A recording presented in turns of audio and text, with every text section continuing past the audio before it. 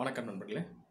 எல்லோரும் வீட்டில் ஃபேமிலிஸோட சேஃபாக இருக்கீங்கன்னு நம்புகிறேன் உங்கள் எல்லாருக்குமே தெரியும் என்னுடைய யூடியூப் சேனலில் நான் அடிக்கடி ஆட்டோமொபைல் சம்மந்தமான வீடியோஸ் போடுவேன். ஆட்டோமொபைல் சம்மந்தமான வீடியோஸ்னு சொல்லும்போது ஆட்டோமொபைல் அனாலிசிஸ் நான் பண்ணுவேன். மெயினாக ஹெவி வெஹிக்கிள்ஸ்னுடைய அனாலிசிஸ் நான் பண்ணுவேன். மெயினாக இதில் அந்த ஆட்டோமொபைல் சம்மந்தமான நுணுக்கங்களை நான் வந்து சொல்லியிருப்பேன். என்னோடய வீடியோஸில் இந்த ஃபோட்டோ இதெல்லாம் நான் போடுறதில்ல. காரணம் என்னென்னா ஏற்கனவே ஆயிரக்கணக்கான வீடியோ அதில் இருக்குது யூடியூப்பில் இருக்குது ஏற்கனவே. அப்படியே ரன் ஆகும் நிறையா வீடியோ வரும் உள்ள ஃபோட்டோ வரும். என்ன சொல்லுவாங்க என்ன எக்ஸ்பிளைன் பண்ணுவாங்கன்றது பார்த்தா எக்ஸ்ப்ளனேஷன் அந்த அளவுக்கு இருக்காது. ஒரு ரெண்டு மட்டும் சொல்லிட்டு அப்படியே போயிடுவாங்க. ஸோ இந்த மாதிரி நுணுக்கங்களை மக்களோட ஷேர் பண்ணணும். இந்த ஆட்டோமொபைல் ஃபேன்ஸோட என்திசியாஸ்டோட ஷேர் பண்ணணும்னா நான் மெயினாக வீடியோ போடுறேன். அது இல்லாமல் ஓவராலாக நாட்டுக்கு சம்மந்தமான விஷயங்களை நான் சொல்லியிருப்பேன். இந்தியாவில் ஆட்டோமொபைல் சம்மந்தமான ரூல்ஸ் அண்ட் ரெகுலேஷன்ஸை எப்படி மாற்றி அமைக்கணும்? ஆக்சிடென்ட்ஸ் அந்த அளவுக்கு நடைபெறாமல் இருக்கிறது எப்படி மாற்றங்களை கொண்டு வரலாம்? வெஹிக்கிள் டிசைனை நம்ம எப்படி மாற்றி அமைக்கலாம்? அது இல்லாமல் இந்த வெஹிக்கிள்ஸ்க்கு செலுத்தக்கூடிய அந்த டேக்ஸஸ் சார்ஜஸ் இதெல்லாம் எப்படி நம்ம ரெடியூஸ் பண்ணலாம்? இதை பற்றிலாம் நான் வந்து நிறைய பேசியிருப்பேன். இதை பற்றின சஜஷன்ஸ்லாம் நான் நிறைய முறை கவர்மெண்ட்டுக்கே எழுதி போட்டிருக்கேன். ஒரு ரெண்டு சஜஷன்ஸை கவர்மெண்ட் என்னோட சஜஷன்ஸை அவங்க அக்செப்ட் பண்ணியும் இருக்காங்க. இந்த வீடியோஸை நான் போடுறது ஒரு பேஷனாக ஒரு ஹாபியாக நான் பண்ணுறேன் இப்போ ஒரு சில வாரங்களாக ரஃபாக ஒரு ஒன்றரை மாதமாக நான் அந்த வீடியோஸை போடுறதில்ல. நிறைய நண்பர்கள் என்ன கேட்டாங்கன்னா ஏன் நீங்கள் வீடியோ போடுறதில்ல? நீங்கள் மறுபடியும் போடுங்க அப்படின்னு அவங்க சொல்லியிருந்தாங்க. ஒரு சில பேர் நிறைய லிஸ்ட் மாதிரி கொடுத்தாங்க. இந்த இந்த விஷயத்தை பற்றி பேசுங்க. உதாரணத்துக்கு மஹிந்திரா வெஹிக்கிளை பற்றி பேசுங்க. புல்லட் ட்ரக்ஸை பற்றி பேசுங்க. ரயில் பஸ்ஸை பற்றி பேசுங்க அப்படின்லாம் சொல்லியிருந்தாங்க. ஜஸ்ட் ஒரு உதாரணத்துக்கு சொல்கிறேன் இப்போ இந்த வீடியோஸை நான் வந்து சில நாட்களாக போடாமல் இருக்கிறதுக்கு ஒரு சில காரணங்கள் இருக்குது சரி இது அப்படியே சொல்லாமே விட்டுடலாம் அப்படின்னு நான் பார்த்தேன். ஆனாலும் என்னோடய சேனலில் ஃபாலோவர்ஸ் இருக்காங்க. என்னை மதித்து ஃபீட்பேக் தர்றவங்க என்கிட்ட டிஸ்கஸ் பண்ணுறவங்க இருக்காங்க. இப்போ இவங்கெல்லாம் என் மேலே அளவு கடந்த அன்பும் ஆதரவும் அவங்க வந்து அழிச்சிட்டு வராங்க. அதனால் பதில் சொல்லாமல் இருக்கிறது சரியாக இருக்காது எனக்கு பட்டது. ஒரு நாகரிகம் கருதி ஒரு ஒரு நன்றி உணர்வாக சரி இந்த விஷயத்தை பற்றி பேசலாம் அப்படின்னு தான் நான் அந்த வீடியோவை போடுறேன். முதல்ல நான் என்னை பற்றி சொல்ல விரும்புகிறேன் நான் ஒரு ஆசிரியர். என்னுடைய யூடியூப் சேனலில் மெயினாக வீடியோஸ் நீங்கள் பார்த்துருந்தீங்கன்னா எஜுகேட்டிவ் வீடியோஸ் அகாடமிக் வீடியோஸ் தான் இருக்கும். ஸோ மாணவர்களுக்கு பாடம் எடுக்கக்கூடிய வீடியோ தான் இருக்கும். ஆட்டோமொபைல் வீடியோஸ் பார்த்தீங்கன்னா அந்தளவுக்கு இருக்காது. ஒரு சதவீதம் தான் அது இருக்கும். இது வந்து சைடில் ஒரு ஹாபியான தான் நான் பண்ணுறேன் ஏன் நான் பண்ணுறேன்னா நான் ஆட்டோமொபைல் இன்ஜினியரிங் முடிச்சிருக்கேன். ஸோ இந்த ஆட்டோமொபைல் சம்மந்தமான அதுவும் மெயினாக ஹெவி வெஹிக்கிள்ஸ்னுடைய ஃபாலோ பண்ணுறது அந்த காலத்துலேருந்தே நான் ஃபாலோ பண்ணிட்டு வரேன். ஸோ என்ன மாதிரி இருக்கக்கூடிய மற்ற ஆட்டோமொபைல் எந்தூசியாஸ்டோட சில விஷயங்களை சுவாரஸ்யமான சில விஷயங்களை ஷேர் பண்ணலாம் அப்படிங்கிற ஒரு விஷயத்துக்காக தான் நான் அந்த வீடியோஸ் போடுறேன்.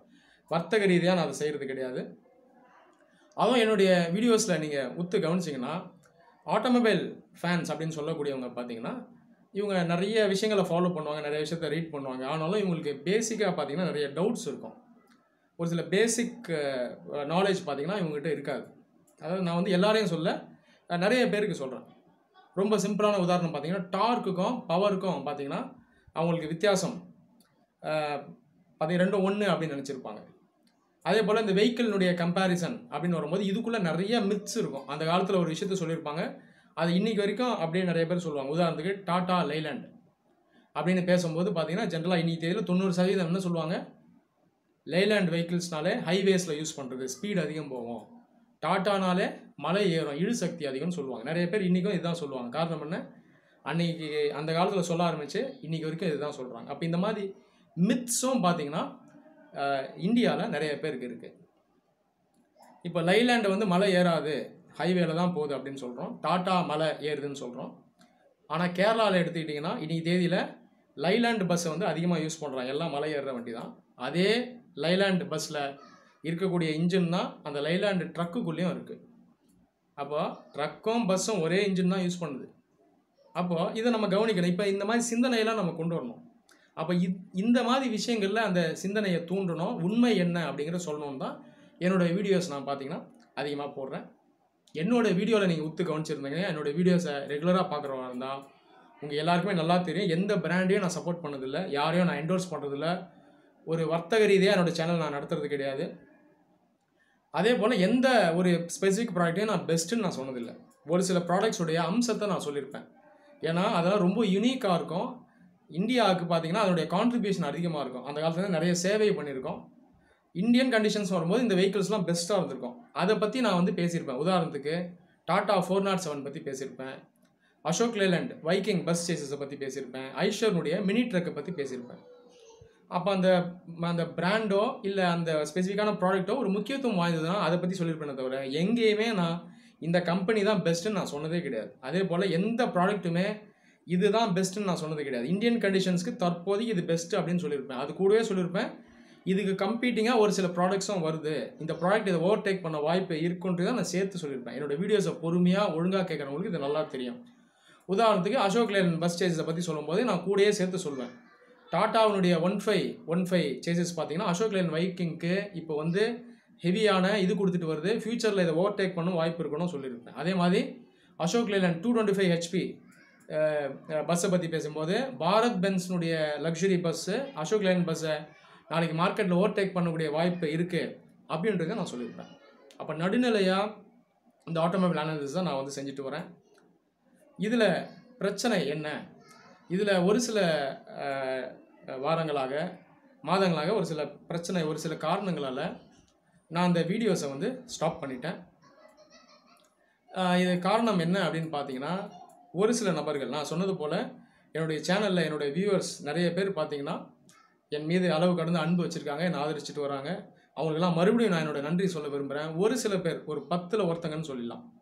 ஆனால் ஆயிரம் அப்படின்னு வரும்போது பார்த்தீங்கன்னா அந்த நம்பர் அதிகமாக இருக்கும். அதுதான் பிரச்சனை. இவங்க என்ன பண்ணுறாங்கன்னா ரெகுலராக அந்த கமெண்ட்டுக்குள்ளே போய் ஒரு வம்பாக சண்டை போடுவது விதண்டாவாதம் பேசுறது ஆர்குமெண்ட் பண்ணுறது மற்ற வியூவர்ஸோட உள்ளே போய் சண்டை போட்டுட்டு இருக்கிறது இந்த மாதிரி விஷயத்த செஞ்சுட்டு வராங்க. இது நிறைய பேர் செஞ்சுட்டு வராங்க ரெகுலராக பண்ணுறாங்க யூடியூப்புங்கிறது சோஷியல் மீடியா அனானிமிட்டி இருக்குது யாருன்றது நம்மளால் சொல்ல முடியாது. இதை வந்து சாதகமாக எடுத்துக்கிறாங்க. இது சரியாங்கிறத அவங்க தான் யோசிக்கணும் ஜென்ரலாக இந்த மாதிரி செய்கிறவங்க எப்படி பண்ணுறாங்க அப்படின்னு பார்த்தீங்கன்னா ஒரு சில பேர் வீம்பா இந்த வீடியோ எதுக்கு போடுறேன்னு கூட அவங்க கவனிக்கிறது இல்லை உள்ளே போய் என்ன போடுறாங்கன்னா இவங்களுக்கு என்ன தெரியுதோ அதை சொல்லி சாதிச்சிடணும். உதாரணத்துக்கு ஏங்க நீங்கள் சேசிஸ்னு சொல்கிறீங்க சேசிஸ் கிடையாது அது பேர் சேசி அப்படின்னு ஒருத்தர் சொல்கிறார் இது தெரியாத எனக்கு? நான் ஆட்டோமொபைல் இன்ஜினியரிங் முடிச்சிருக்கேன். பல வருஷமாக ஆட்டோமொபைல் நான் ஃபாலோ பண்ணுறேன் சேசின்னு சொல்ல எனக்கு தெரியாதா? இந்த வீடியோஸ் பார்க்குறவங்க வந்து நிறைய பேர் டிரைவர்ஸ் இருப்பாங்க. நிறைய யங் ஃபேன்ஸ் இருப்பாங்க. சேசின்னு சொன்னால் நிறைய பேருக்கு அது என்னன்ற நாலேஜ் இருக்காது. சேசிஸ்னு சொல்கிறது தான் ஜென்ரலான டேர்ம் அதனால் சேசிஸ்னு சொல்கிறேன் உதாரணம் பார்த்தீங்கன்னா ஐஷர் நிறுவனம். பேர் ஐஷர் தான் அதோட பேர். ஆனால் நம்ம ஊரில் என்ன சொல்லுவாங்க? ஈச்சர்னு சொல்லுவாங்க. இது நான் போய் ஐஷர் ஐஷர்னா அவங்களுக்கு ஒன்றும் புரியாது. அப்போ அங்கே நான் போய் ஈச்சர்னா அதை நான் சொல்ல முடியும். இந்த மாதிரி ஒரு பேர் பார்த்தீங்கன்னா வீம்பா பேசுறது. அவங்களுக்கு என்னென்ன தெரிஞ்சிருமோ அதை சொல்கிறது இந்த மாதிரி சொல்லக்கூடியவங்க. இன்னொரு பேர் பார்த்தீங்கன்னா ஓரளவுக்கு அவங்க நாலேஜ் இருக்கும். ஆனால் ரொம்ப இருக்காது. அதை எப்படியாவது ப்ரூவ் பண்ணிடணும். ஒருத்தர் வீடியோவில் பேசுகிறாரு யூடியூப்பில் அந்த காமெண்ட்டுக்குள்ளே போய் எனக்கு தெரிஞ்சதெல்லாம் நான் சொல்லி சாதிச்சுட்டு வந்துடணும் உதாரணத்துக்கு பார்த்தீங்கன்னா டுவெல் மீட்டர் பஸ் இது வந்து டூ டுவெண்ட்டி ஃபைவ் ஹெச்பி தான் அப்படின்னு ஒருத்தர் சொல்கிறாரு இந்த டோ இந்த பஸ் பார்த்தீங்கன்னா ஒன் எயிட்டி ஹெச்பிலே கிடையாது அப்படின்னு சொல்கிறாரு இது உண்மையா அப்படின்னு பார்த்தீங்கன்னா உண்மை கிடையாது. டுவெல் மீட்டர் பஸ்ஸுங்கிறது பல கன்ஃபிகரேஷனில் கொண்டு வராங்க. உதாரணத்துக்கு அசோக் லேலன் கம்பெனி நூற்றி இருபத்தஞ்சி ஹெச்பிலையும் அந்த பஸ்ஸை இந்த இந்த மாடலை கொண்டு வந்திருக்காங்க. நூற்றி அறுபது ஹெச்பிலையும் அது இருக்குது நூற்றி எண்பது ஹெச்பிலையும் இருக்குது இரநூத்தி அஞ்சு ஹெச்பிலே நடுவில் வந்துச்சு. அது இல்லாமல் இரநூத்தி இருபத்தஞ்சி ஹெச்பியில் இன்றைக்கி இருக்குது மெயினாக நாளைக்கு முந்நூற்றி இருபது ஹெச்பியில் கூட கொண்டு வரலாம். இந்த மாதிரி பசங்க என்ன பண்ணுறது ஃபுல்லாக லேர்ன் பண்ணுறது இல்லை. அந்த வெஹிக்கிளோட ஹிஸ்ட்ரிலாம் படிக்கிறது இல்லை. டக்குன்னு வெப்சைட்டுக்குள்ளே போகிறது ஒரு ரெண்டு நாள் பார்ப்பாங்க. நமக்கு என்ன நம்ம லேர்ன் பண்ணுறோம் அதுதான் உண்மைன்னு நினச்சி அதை அதை வந்து மற்றவங்ககிட்ட சொல்லிடணும் ஆர்கியூ பண்ணிடணும் வின் பண்ணிடணும்னு பார்க்குறாங்க. இந்த மாதிரி ஆர்கியூ பண்ணுறதுல எந்த விதமான லாபமும் இல்லை. முதல்ல இதை இவங்க உணரணும். இன்னும் நிறைய உதாரணம் சொல்லலாம். ஒரு வீடியோ நான் போட்டிருந்தேன். இந்த எல்லோ போர்ட் வெஹிக்கிள்ஸ் இந்த கார்ஸில் பார்த்தீங்கன்னா ஸ்பீட் லிமிட் எயிட்டியில் இருக்குது இந்தியாவில் இது இன்னும் கொஞ்சம் அதிகப்படுத்தலாம்னு சொல்லியிருந்தேன். காரணம் என்னென்னா மற்ற வெஹிக்கிள்ஸ் பஸ்ஸு ட்ரக்ஸ் எல்லாம் நிறைய இடத்துல இந்த ட்ரக் இந்த கார்ஸை விட வேகமாக போகுது. அதனால் இந்த கார் ஓட்டுநர்களுக்கு பிரச்சனையாக இருக்குது ஈஸியாக மனுவர் பண்ண முடியல. ஒரு பிரச்சனை வந்தால் கூட மனுவர் பண்ண முடியாது. எங்கேயாவது மலையிலையோ சகதியிலோ சிக்கிச்சுன்னா கூட ஆக்சிடென்ட் பண்ணி வெளியே வர முடியாது. இந்த ஒரு மிகப்பெரிய ஆபத்து இருக்குது இதுக்காக இந்த ஸ்பீட் லிமிட்டை உயர்த்தலாம். ஹண்ட்ரடுக்கு வைக்கலாம் அப்படின்னு நான் சொல்லியிருந்தேன். ஏன்னா மற்ற பர்சனல் வெஹிக்கிள்ஸில் பார்த்தீங்கன்னா ஸ்பீட் லிமிட் யாரும் ஃபாலோ பண்ணல நூற்றி எண்பது இரநூறுக்குள்ளே போகுது. ஆனால் டிரைவராக வேலை செய்யக்கூடியவங்க எல்லோ பேர்ட் வெஹிக்கிளில் எயிட்டி தான் ஓட்டணும்னு கவர்மெண்ட் நிர்ணயம் பண்ணிருக்கு. இது சரியில்லை கொஞ்சம் அதிகப்படுத்தலாம்னு சொன்னேன். இதில் ஒரு சில பேர் இவங்களுடைய அறிவை வச்சு இவங்க லைஃப்பில் பார்த்ததை வச்சு என்ன சொல்கிறாங்கன்னா வைக்கக்கூடாது. டிரைவருக்கு இவர் இவ்வளோ தான் வைக்கணும் எண்பது தான் வைக்கணும். டிரைவர்னாலே மோசமாக தான் ஓட்டுவாங்க. நீங்கள் பார்த்தது இல்லையா? நீங்கள் இந்த பிடி இந்த அதான் எல்லோ போர்டு வண்டினால ஃபுல்லாக ஸ்க்ராட்சாக இருக்கும். ஆனால் சொந்த வண்டி வச்சுருக்கவங்க எப்பயுமே மெதுவாக தான் ஓட்டுவாங்க. இவங்க எந்த ஆக்சிடென்ட்ஸுமே பண்ணுறது இல்லை அப்படின்னு இவங்க வாதம் வைக்கிறாங்க. இது உண்மையா? இது வந்து உண்மை கிடையாது. அப்போ இந்த மாதிரி வாதத்தை வச்சு சண்டை போட்டுட்டு பேசிகிட்டு இருக்கவங்க ஒரு சில பேர் இருக்காங்க. இன்னும் ஒரு சில பேர் பார்த்தீங்கன்னா வீடியோவில் என்ன பேசுகிறோன்றது கவனிக்க மாட்டாங்க. அவங்களுக்கு என்ன தெரியுமோ அதை உள்ள வாதத்தை அதை வந்து வாதமாக வைப்பாங்க.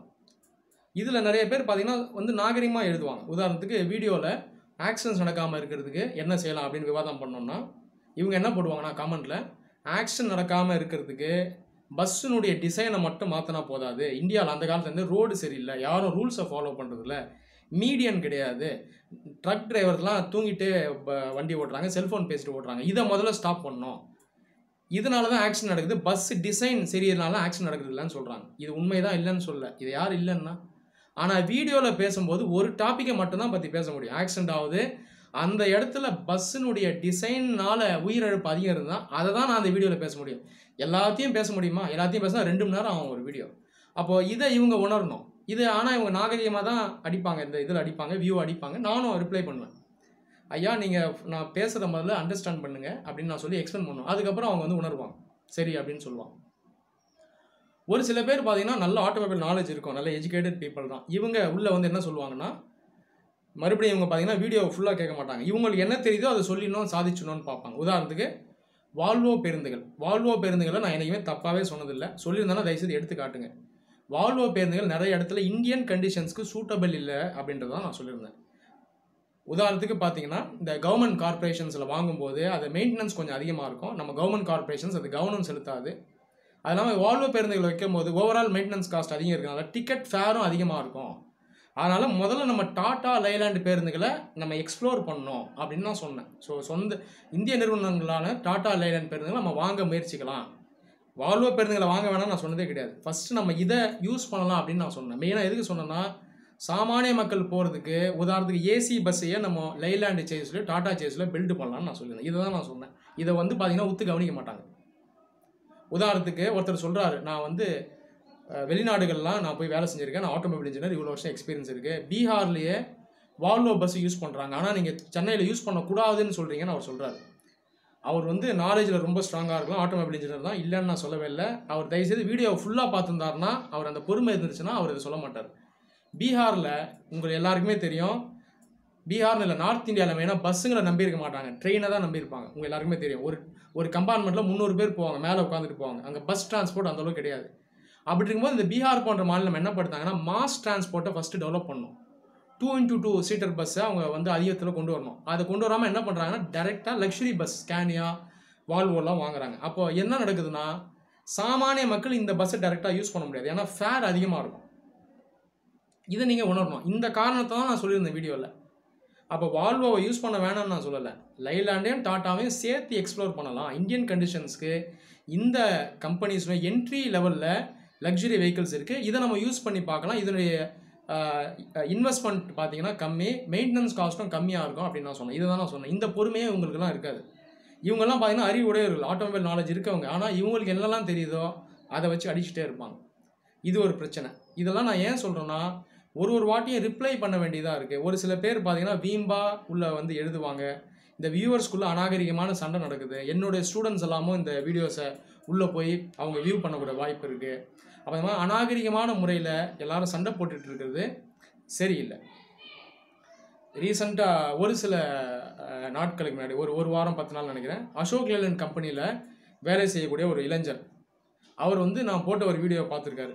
Ashok Leyland multi axle bus இதை பற்றி நான் ஒரு வீடியோ போட்டேன். அது ஒரு ரெண்டு மூணு மாதம் முன்னாடி இருக்குன்னு நினைக்கிறேன். அதில் பார்த்தீங்கன்னா அசோக் லேலன் கம்பெனியினுடைய அம்சங்களையும் நான் சொல்லியிருந்தேன். டாடா லைலாண்ட் ஐஷர் கம்பெனினா நான் சப்போர்ட் பண்ணிட்டு தான் இருக்கேன். இதெல்லாம் இந்தியன் கம்பெனிஸ் இந்த வீடியோவில் உத்து அவர் பார்த்துருந்தாருன்னா அந்த மல்டி ஆக்சல் பஸ்ஸை அவங்க கொண்டு வந்தால் சக்ஸஸ் ஆகுமான்றதை பற்றி நான் பேசியிருந்தேன் சக்ஸஸ் ஆகிறது வாய்ப்பு அதிகம் இருக்குன்னு தான் சொல்லியிருந்தேன். அது இல்லாமல் இந்த நிறுவனத்துக்கு என்னோடய ஃபீட்பேக்கும் கொடுத்தேன். ரியர் ஓவர் அங்கே அதிகம் வச்சுருக்கீங்கப்பா. இந்த மாதிரி இந்த பஸ்ஸை விட்டிங்கன்னா அது ஃபெயிலியர் ஆகிடும்னு என்னுடைய ஃபீட்பேக்கையும் கொடுத்தேன். இதை கூட இந்த இளைஞர் உணரல. அவர் உடனே ஹர்ட் ஆகிட்டார் அது ஏன் ஹர்ட் ஆகினார்னு நீங்கள் கேட்டிங்கன்னா சிரிப்பீங்க. அந்த வீடியோவில் பார்த்தீங்கன்னா நான் சொல்லியிருந்தேன். அசோக் லைன் நிறுவனம் சொந்தமாகவே நெப்டியூன் சீரிஸ் இன்ஜினை உருவாக்கியிருக்கு. இதில் three hundred and eighty HP rating வரைக்கும் இன்ஜினை இந்த நிறுவனமே செய்யுது. இதை இந்தியன் ஆர்மிக்கும் சப்ளை பண்ணுது நல்ல அச்சீவ்மெண்ட்னு சொல்லியிருந்தேன். இது இது வந்து தப்பா? இவங்க நிறுவனத்தை பற்றி நான் நல்லா தான் பேசியிருந்தேன். இந்த இளைஞர்களுக்கு இவர் இந்த நிறுவனத்தில் வேலை செய்யக்கூடியவர். இவர் பார்த்தீங்கன்னா என்ன ஹர்ட் ஆகிடுச்சுன்னா த்ரீ எயிட்டி ஹெச்பின்னு மாற்றி சொல்லிட்டோம். இன்னைக்கு தேதி வரைக்கும் த்ரீ சிக்ஸ்டி ஹெச்பி வரைக்கும் தான் இன்ஜின் பண்ணுறாங்களாம் இருக்கட்டும் பரவாயில்ல. த்ரீ எயிட்டி ஹெச்பி வரைக்கும் பண்ணுறதா அவங்க பிளான் பண்ணியிருந்தாங்க. அதனால தான் நான் சொன்னேன் இதில் என்ன தப்பு இருக்குது அந்த ஹெச்பியை கூட நான் கொஞ்சம் அதிகமாக தான் சொல்லியிருந்தேன். ஆனால் இல்லை இந்த மாதிரி நீங்கள் சொல்லக்கூடாது. ராங் இன்ஃபர்மேஷன் சொல்லிட்டீங்க. ஃபால்ஸாக நான் சொல்கிறேன் அப்படின்றாரு அவர். அது இல்லாமல் பதிமூணு வருஷம் முன்னாடியே நானூற்றி எண்பது ஹெச்பி ட்ரக் இன்ஜினை இந்தியாவில் அவங்க கொண்டு வர ட்ரை பண்ணாங்க. மார்க்கெட் கண்டிஷன் சூட்டபுளாக இல்லாதனால அதை எடுத்துட்டாங்க. மூணு வருஷம் முன்னாடி யூரோ டைப் கேபினை வச்சு நானூறு ஹெச்பிக்கு ஒரு ட்ரக்கை உருவாக்கியிருக்காங்க. இவரோட சொந்த கம்பெனி ஹிஸ்ட்ரி பற்றி இவருக்கே தெரியல. இவர் கம்பெனியை பற்றி நான் நல்லா தான் சொன்னேன். அதை கவனி கூட பொறுமை இல்லை. இந்த பவர் ரேட்டிங்கை மாற்றி சொல்லிட்டேன்னா அதில் அந்த அளவுக்கு சண்டைக்கு வராரு என்கிட்ட. அதே போல் அந்த லக்ஸுரா பஸ் இருக்கு இல்லையா? ஒரு காலத்தில் ஒரு பத்து வருஷம் முன்னாடி ஃபுல்லி பில்ட் யூனிட்டாக கொண்டு வந்தாங்க. ரியர் இன்ஜினாக அதை வந்து கொண்டு வந்தாங்க. அதுக்கப்புறம் அதை ஏன் சேசிஸாக இன்றைக்கி விற்கிறாங்கன்றதே நான் சொல்லியிருந்தேன். அதையும் அவர் ஊத்து கவனிக்கல. அவர் கம்பெனியை பற்றி நான் தப்பாகவே சொல்லலை. அசோக் லேன் நிறுவனம் டாடா கம்பெனியெல்லாம் ஏன் மல்டி ஆக்சர் பஸ்ஸஸை பண்ண மாட்றாங்கன்றத விளக்கத்தை நான் அழகாக கொடுத்துருந்தேன். அதை இந்தியாவில் வால்யூம் கம்மி. பண்ணாலும் அதில் குறைஞ்ச விலைக்கு விற்க முடியாது. வால்வோ ஸ்கேனுக்கு ஈக்குவலாக தான் விற்க முடியும். அதனால் பெருசாக லாபம் பண்ண முடியாததுனால இவங்க செய்யாமல் இருக்காங்க. மற்றபடி செய்யறதுக்கு திறன் இல்லாமல் இவங்க செய்யாமல் இல்லைன்றதை அழகாக நான் அதை கேட்கறது கூட இவருக்கு வந்து அந்த பேஷன்ஸ் இல்லை. உடனே என்னோட நிறுவனம் அசோக் லேண்டை பற்றி நீங்கள் மாற்றி சொல்கிறீங்க இன்ஃபர்மேஷனுங்கிறாரு மாற்றி நான் ஒன்றுமே சொல்லலை. அந்த ஹெச்பி ரேட்டிங்கை மட்டும் தான் மாற்றி சொல்லிட்டேன். அது இல்லாமல் அந்த ட்ரையல் ரன் பண்ண பஸ்ஸில் பார்த்தீங்கன்னா அது வந்து ஃப்ரண்ட் இன்ஜின் பஸ்ஸாக இருக்குமோன்னு நான் சொல்லிட்டேன். எனக்கு அதை பற்றி நாலேஜ் இல்லை. அது ஃப்ரண்ட் இன்ஜின் கிடையாது ரியர் இன்ஜின் தான் அப்படின்றாரு. நான் மாற்றி சொல்லிட்டேன்? இதில் என்ன நான் மாற்றி சொல்லிட்டேன்? பல வருஷமாகவே அசோக் லேலன் கம்பெனி பார்த்தீங்கன்னா வால்வோ ஸ்கேனியா போல் ரியர் இன்ஜினை வைக்காமல் யூனிக்காக ஃப்ரண்ட் இன்ஜினை வச்சு பஸ்ஸை உருவாக்குறாங்க. அது பார்த்தீங்கன்னா ஃபுல்லாக லோ ஃப்ளோராக இருக்கும். அந்த மாதிரி இந்த பஸ்ஸையும் உருவாக்கியிருப்பாங்களோன்றதை நான் சொன்னேன். இதில் என்ன தப்பு? இது மாற்றி சொல்லிட்டீங்கன்றார். அதுவும் ட்ரையல் ரனில் இருக்க பஸ்ஸை சரி முன்ன பின்ன மாற்றி சொன்னால் என்ன? அப்போ கம்ப இவர் கம்பெனியினுடைய ப்ராடக்ட்ஸோட டெவலப்மெண்ட்டே இவர் உணரல. இவங்களோட கம்பெனியோட மிஷன் என்னங்கிறது ஐடியா இல்லை. அதை விட நான் அன்பாக தான் சொல்கிறேன் தம்பி. நான் சொல்கிறது கவனிங்கப்பா. உங்கள் உங்கள் கம்பெனியை பற்றி நான் நல்லது தான் சொல்லியிருக்கேன். இதை ஒத்து கவனிங்க. இந்த மாதிரி நீங்கள் ராங்காக நீங்கள் போடாதீங்கன்னு நான் சொன்னேன். அதுக்கும் ரிப்ளை பண்ணுறாரு திரும்ப. நான் போட்டதை அவர் படிக்கூட இல்லை. மறுபடியும் அவர் என்ன சொல்கிறார் நீங்கள் பெருசாக ரிப்ளை தரீங்க. அதெல்லாம் கிடையாது. நான் பார்க்க மாட்டேன். நான் சொன்னதை நீங்கள் ஏற்றுக்கணுங்கிறாரு மறுபடியும் சம்மந்தம் இல்லாத ரெண்டு பாயிண்ட்டை கொண்டு வராரு ஒரு வீடியோவில் நான் சொல்லியிருந்தேன். ஹை அண்ட் லக்ஸுரி பஸ்ஸஸ்லாம் வேகம் நூற்றி எண்பது இரநூறுலாம் போகும்னு நான் சொல்லியிருந்தேன். உண்மைதான் அது போவோம் ஆயிரத்தி ஐநூறு நியூட்டன் மீட்டர் டார்க் இருந்தால் நூற்றி எண்பதை தாண்டும். இவர் வந்து என்ன சொல்கிறாருன்னா நான் இன்ஜினியர் இந்த மாதிரி ஒரு பேருந்து நூற்றி எண்பதில் போனதை நான் பார்த்தது இல்லைங்கிறாரு. அதனால் நீங்கள் சொன்னதை ஏற்றுக்க முடியாதுன்றார். நான் சொன்ன தம்பி நீங்கள் பார்க்காதனால உண்மை இல்லைன்னு ஆகிடாது நம்ம என்ன அசியம் பண்ணி வச்சுருக்கோம் நம்ம கற்பனை பண்ணி உலகத்தில் உண்மை ஆகாது நூற்றி எண்பது போகுமா இல்லையா அப்படிங்கிறத உங்கள் கம்பெனியோட இன்ஜினியர்ஸ்கிட்டே கேளுங்க அப்படின்னு. இந்தியன் கண்டிஷனில் போகாதாங்க இந்தியன் ரோட்ஸ்லாம் அந்தளவுக்கு போக முடியுமா? போக முடியாது. ஆனால் ஒரு இன்ஜினியர் இப்படி பேசலாமா? ஒரு இன்ஜினுடைய திறன் என்னன்றதை இவர் உணரணும். அதை விட நான் ரொம்ப அன்பாக அழகாக நான் சொன்னேன். தயவுசெய்து உங்கள் கம்பெனியோட இன்ஜினியர்கிட்டே பேசுங்க தம்பி. நூற்றி அறுபது ஹெச்பி கொண்ட ஒரு அசோக் லேலண்ட் பஸ்ஸு லோட் இல்லாமல் கர்ப் வெயிட் மட்டும் வச்சு நீங்கள் ஓட்டினீங்கன்னா மூவாயிரம் ஆர்பிஎம்மில் எவ்வளோ வேகம் போகும்னு நீங்கள் கேளுங்க முதல்ல. அப்போ உங்களுக்கு தெரியும்னு சொன்னேன். அப்போ அதை இந்த அளவுக்கு நான் சொல்லி இந்த மாதிரி அவர் வந்து வாதத்தை பண்ணிக்கிட்டு இருக்காரு. இவரை இவர் அன்பாக நான் பேசுகிறேன் இவர் கம்பெனிக்கு சப்போர்ட் பண்ணி அவர் கம்பெனியோட அம்சமும் நான் இது மாதிரி நிறைய பேசியிருக்கேன். ஏன்னா இந்திய நிறுவனம். அதை கூட உணராமல் என்ன பண்ணுறாங்க அவங்களுக்கு என்னென்ன விஷயம் தெரியுதோ அதை வச்சு ஆர்கியூ பண்ணிடணும் சாதிச்சிடணும் அப்படின்னு இருக்காங்க. இது சரியா அப்படிங்கிறத இவங்க தான் யோசிக்கணும். நேற்று பார்த்தீங்கன்னா ஒரு நபர் இந்த இளைஞர் இவரும் பார்த்தீங்கன்னா இதே மாதிரி ஒரு வேலை தான் டாடா பஸ்ஸஸ் பற்றியும் லைலாண்ட் பஸ் பற்றியும் ஒரு கம்பேரிசன் நான் பண்ணியிருந்தேன் இந்த வீடியோ ஒரு ரெண்டு மாதம் முன்னாடி பண்ணியிருந்தேன் இந்த வீடியோ ஒரு நேற்று பார்த்துருக்காரு. அதில் இவர் இதே மாதிரி ஒரு விஷயத்தை இவருக்கு என்னெல்லாம் விஷயம் தெரியுதோ அதை வச்சு இவர் போட்டிருக்காரு. டாடா லைலாண்ட்னு டிஸ்கஸ் பண்ணும்போது இதை மட்டும் மெயினாக வச்சு தான் நான் அந்த வீடியோவில் பேச முடியும். பத்து நிமிஷம் வீடியோவில் நான் எவ்வளோ பேச முடியும்? இதில் நான் என்ன சொல்லியிருந்தேன்னா இவ்வளோ காலம் முன்னாடி வரைக்கும் அசோக் லைன் பஸ்ஸஸில் நாலு கியர் தான் இருக்கும் அப்படின்னு நான் சொல்லியிருந்தேன். இப்போ ஆறு கியரில் வருது அப்படின்னு நான் சொல்லியிருந்தேன். ஏன்னா கடந்த இருபது இருபத்தஞ்சி வருஷமாக நாலு கியரில் தான் வருது உங்கள் எல்லாருக்குமே தெரியும். ஆனால் இவர் ஒரு ஒரு விஷயத்தை சுட்டி காட்டுறாரு. அது உண்மைதான். நடுவில் அஞ்சு கியர் வச்சும் பஸ் கொண்டு வந்தாங்கன்னு சொல்கிறார் உண்மைதான் இல்லைன்னு சொல்ல டூ தௌசண்ட் டெனில் பெரிய ஒரு பேட்ச் கொண்டு வந்தாங்க. எம்டிசியில் ஆயிரம் பஸ் கிட்ட கொண்டு வந்தாங்க. அது இல்லாமல் நிறைய ஒரு சில ப்ரைவேட் ஆப்ரேட்டர்ஸும் அதை வாங்கினாங்க. இதை அவர் சுட்டி காட்டுறாரு. நான் அதை சொல்லலையாம் நான் என்ன சொல்லிட்டேன்னா அசோக் லைனில் இவ்வளோ காலம் நாலு கியர் மட்டும்தான் இருந்தது. இப்போ தான் ஆறு கியர் இருக்குன்னு நான் சொல்லிட்டேனா. அந்த அஞ்சு கியர் மாடல் வந்ததை நான் சொல்லலையா? இதை நான் சொல்லலை தான். ஏன்? இது இந்த வீடியோக்கு அந்தளவு ரிலவெண்ட் இல்லை.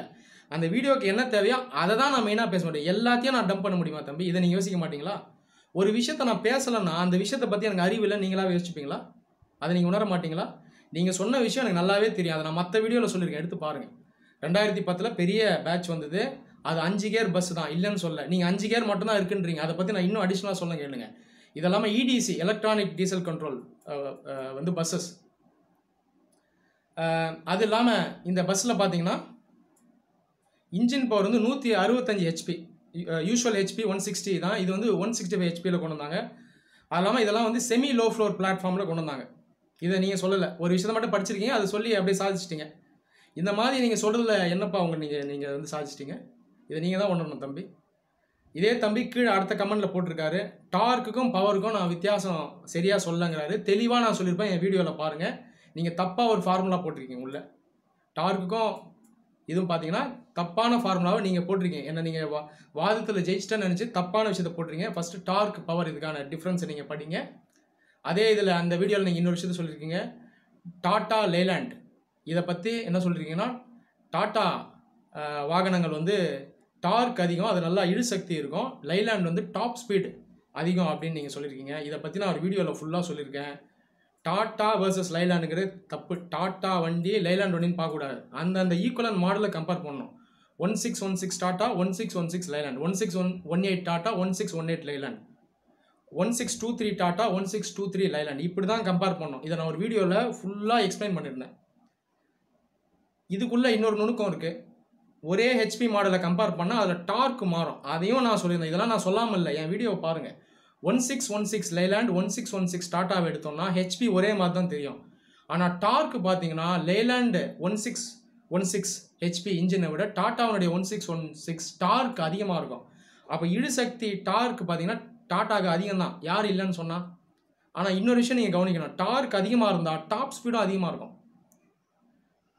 டார்க்கு வச்சு நம்ம பார்க்கும்போது ரெண்டு வாகனங்கள் இதில் ஆர்பிஎம் ஒன்று அந்த டிஃப்ரென்ஷியல் ரேஷியோ அதாவது ரியல் ஆக்சுவல் ரேஷியோ ஒன்று வீல் சைஸ் எல்லாம் ஒன்று நம்ம எடுத்துட்டோம்னா டார்க் ஒரு வண்டிக்கு அதிகமாக இருக்கும்போது டாப் ஸ்பீடும் அதிகமாக இருக்கும். ஆனால் நீங்கள் என்ன சொல்கிறீங்க லேலாண்டுக்கு டாப் ஸ்பீடு அதிகம் டாட்டா டாப் ஸ்பீடு கம்மி ஆனால் இழுசக்தி அதிகம்ன்றீங்க இது தப்பு. ஃபஸ்ட்டு ஒழுங்காக படிங்க. இந்த டார்க்குக்கும் பவருக்கும் உள்ள இருக்கிற ரிலேஷனை ஃபுல்லாக நீங்கள் வந்து ஸ்டடி பண்ணுங்கள் டார்க் அதிகம் இருந்தால் டாப் ஸ்பீடும் அதிகமாக இருக்கும். அப்போ டாட்டா ட்ரக்கு டார்க் அதிகம் இருந்தால் டாட்டா ட்ரக் ட்ரக்குனுடைய டாப் ஸ்பீடும் அதிகமாக இருக்கும். அதை நீங்கள் ஃபஸ்ட்டு உணரணும். இது இல்லாமல் நான் சொன்னது போல் இதில் மற்ற சில ஃபேக்டர்ஸ்லாம் இருக்குது ரியர் ஆக்சல் ரேஷியோவும் பார்க்கணும். ரியர் ஆக்சல் ரேஷியோ மாறும்போது டாப் ஸ்பீடும் மாறணும். ஸோ இதெல்லாம் நீங்கள் உட்காந்து ரீட் பண்ணுங்கள் உங்களுக்கு என்னெல்லாம் நீங்கள் படிச்சிருக்கீங்களோ அதை காமெண்ட்டில் போட்டு சாதிச்சணும்னு பார்க்காதீங்க. இதில் எனக்கு எந்த விதமான நஷ்டமும் கிடையாது. இதை நீங்கள் உணரணும். பட் அதெல்லாம் ஏன் சொல்கிறேன்னா இந்த மாதிரி காமெண்ட்ஸ் வந்து நிறைய வந்துக்கிட்டே இருக்குது டெய்லிக்கும் இதை பார்த்து ரிப்ளை பண்ண முடியல. நிறைய பேர் இந்த மாதிரி சண்டை போடுறது இந்த வியூவர்ஸ்குள்ளேயே அடிச்சுக்கிறது அவதூறாக வார்த்தைகள் எழுதுறது இந்த மாதிரி அரகண்ட்டாக இவங்களுக்கு இருக்க நாலேஜை வந்து காட்டிடணும் சாதிச்சிடணும்னு பார்க்குறது. இந்த மாதிரி நிறைய பேர் இது செய்கிறாங்க முதல்ல என்னென்னா இது நிறைய பேர் எஜுகேட்டடாக இருக்காங்க. குறைஞ்சது கொஞ்சம் ஒரு பேஷன்ஸை நீங்கள் வந்து எக்ஸசைஸ் பண்ணுங்கள் ஒரு வீடியோ ஃபுல்லாக பாருங்கள் பார்த்தா தான் என்ன ஒருத்தர் சொல்ல வர்றாருன்னு தெரியும். நீங்கள் சொல்ல வர்றதான் நானும் சொல்கிறேன் அதை ஒத்து கவனிச்சா தான் தெரியும். அதை கவனிக்காமல் உங்களுக்கு என்ன தெரியுதோ அதெல்லாம் காமெண்ட்டில் அடித்து என்ன சாதிக்க போகிறீங்க அப்படி நீங்கள் சொல்லணும்னு நினைக்கிறீங்களா? நீங்கள் செப்பரேட்டாக ஒரு வீடியோ நீங்கள் வந்து யூடியூப்பில் போடுங்க. அழகாக மற்றவங்க சொல்லுங்கள் அந்த உலகத்துக்கு சொல்லுங்கள் அதை செய்யுங்க. டிஸ்ட்ரக்டிவாக ஒரு விஷயத்தை செய்கிறதுல எந்த ஒரு யூஸும் கிடையாது. எனக்கு தெரிஞ்சு இது இங்கே தான் நடக்குது. எனக்கு ரொம்ப சர்ப்ரைசிங்காக இருக்குது நான் நார்த் இந்தியாவில் பார்த்துருக்கேன். நிறைய வீடியோஸ் போடுறாங்க. அதிலலாம் இந்த அளவுக்கு சண்டை போகிறது இல்லை. தமிழ்நாடு ஒரு உயர்ந்த மாநிலம். நமக்குள்ளே வந்து ஒத்துமை வேணும். இங்கே இருக்க இளைஞர்கள்லாம் நல்லா படித்தவங்க அறிவு உள்ளவங்க இங்கே இருக்க இளைஞர்கள்லாம் நான் ரொம்ப மதிக்கிறேன். நான் ஒரு வாத்தியார் தான். நான் ஆயிரக்கணக்கான ஸ்டூடெண்ட்ஸ்க்கு நான் வந்து வகுப்பு எடுக்கிறேன் என்னோட இல்லை என்னுடைய ஸ்டூடெண்ட்ஸ் பண்ணால் நான் ரொம்ப மரியாதை வச்சுருக்கேன். அப்படிங்கும்போது இளைஞர்கள் பார்த்தீங்கன்னா அந்த மெச்சூரிட்டி வேணும். ஒரு விஷயத்தை டிஃப்ரென்ஷியேட் பண்ணணும். அந்த காமன் சென்ஸை எக்ஸசைஸ் பண்ணணும். ஒரு விஷயத்தை பார்க்கும்போது உடனே அதில் நாம ஒரு விஷயத்தை கம்பேர் பண்ணிவிட்டு நமக்கு என்னெல்லாம் நம்ம படிச்சிருக்கோமோ அதை வச்சு நம்ம வாக்குவாதம் பண்ணுறது ஜெயிச்சணும்னு நினைக்கிறது சரி கிடையாது. இதை நீங்கள் முதல்ல உணரணும். ஸோ இதை நான் சொல்லலாம் அப்படின்றக்காக தான் நான் அந்த வீடியோ போட்டேன். என்னோட ஒரு கனிவான வேண்டுகோள் அன்பான வேண்டுகோள் அட்வைஸ்னு எடுக்காதீங்க. இந்த ஆட்டோமொபைல் வீடியோஸ்னு கிடையாது. எந்த ஒரு வீடியோ ஆகட்டும் யூடியூப்பில் சரி ஃபேஸ்புக்கில் சரி எந்த விஷயத்தை பற்றி ஒருத்தர் பேசுகிறார் அப்படின்னாலும் அதை உத்து கவனிங்க தயவு செய்து அது ஒரு மாற்று கருத்து இருக்குன்னா அதை ஃபுல்லாக கவனிச்சுட்டு நீங்கள் சொல்லுங்கள் அதே போல் ஒருத்தர் சொல்கிறத ஏற்றுக்கணும்னு அவசியம் கிடையாது. நான் என்னோடய கருத்துக்களை ஏற்றுக்கணும்னு நான் என்றைக்குமே நான் சொல்கிறதில்ல நீங்களாம் தனியாக படிங்க ரிசர்ச் பண்ணுங்கள் அதில் ஒரு முடிவுக்கு வாங்க. நம்மளுடைய நாலேஜை நீங்கள் பார்த்தீங்கன்னா ப்ரொலிஃபரேட் பண்ணிகிட்டே வரணும். ஹாஃப் நாலேஜ் இஸ் டேஞ்சர்ஸ்னு சொல்லுவாங்க. நாலேஜ் இல்லாமல் கூட இருந்துடலாம். ஆனால் நான் ஹாஃப் நாலேஜை வச்சுக்கிட்டு நமக்கு என்ன தெரியுதோ அதுதான் உண்மை வாழ்க்கைன்னு நினைக்கிறது ஒரு ஆபத்தான நிலை. ஸோ இது என்னுடைய ஒரு அன்பான வேண்டுகோள். நான் சொன்னது போல் அட்வைஸ் எடுக்காதீங்க. இங்கே இருக்க யங்ஸ்டர்ஸ் எல்லாமே